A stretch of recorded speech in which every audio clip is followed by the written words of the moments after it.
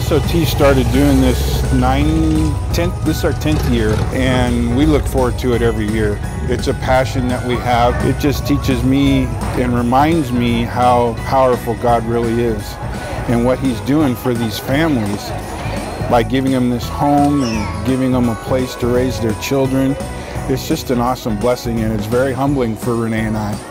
I just feel like so blessed that I have a supportive family. Sons of Thunder has been there for us and the reaction that I get is just loved, supported. It's wonderful to be a part of something so big and your generosity has touched me so much. Just, as a mom, I just feel so supported and thank you so much from the bottom of my heart. Well, a lot of people come into the program and they, they've never had a Christmas. Uh, they haven't had a time to get loved on and get gifts. Uh, when the Sons of Thunder rolled up, the kids were so joyful and just jumping up and down. Uh, Sons of Thunder has always been such a blessing to Teen Challenge, and I just want to say thank you guys for everything that you do.